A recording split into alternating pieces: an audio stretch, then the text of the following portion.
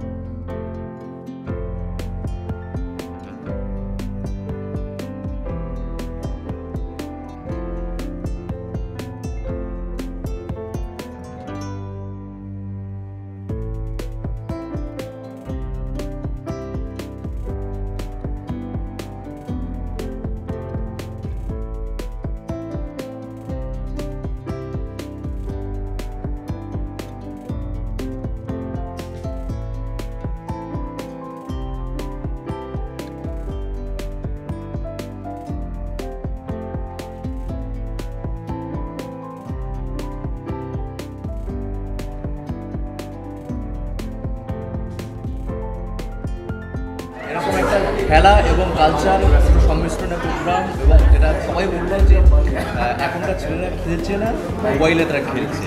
সব মিলিয়ে আপনারা একদম খেলাধুলোর ব্যাপারটা সুকুমারকে আমার চাইতে অনেক ভালো বলতে পারবেন কিন্তু আমি চাই যে সংস্কৃতি লেখাপড়া ইত্যাদির সঙ্গে সঙ্গে খেলাধুলোটাও চলুক কারণ খেলাধুলোটা হচ্ছে সংস্কৃতিরই অঙ্গ। সংস্কৃতি শুধু নাচ গান কবিতা সাহিত্য নয় খেলাধুলো সংস্কৃতির একটা বড় অংশ।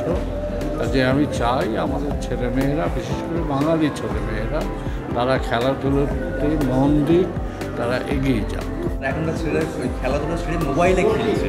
এই এইটা এইটা ভয়ঙ্কর ব্যাপার মোবাইলে অনেক কিছু শেখবার আছে কিন্তু আমি চাই তারা মাঠে নেমে খেলাধুলো করবে মাঠে ময়দানে পার্কে নদীতে সমুদ্রে নদীতে সাঁতার কেটে আকাশে উড়ে তারা খেলাধুলোটা করবে এটা চাই আজকে এরকম একদম মূলক অনুষ্ঠান এবং শিল্প সংস্কৃতির সঙ্গে খেলাধুলা দুটোর সংমিশ্রণ কি বলবেন?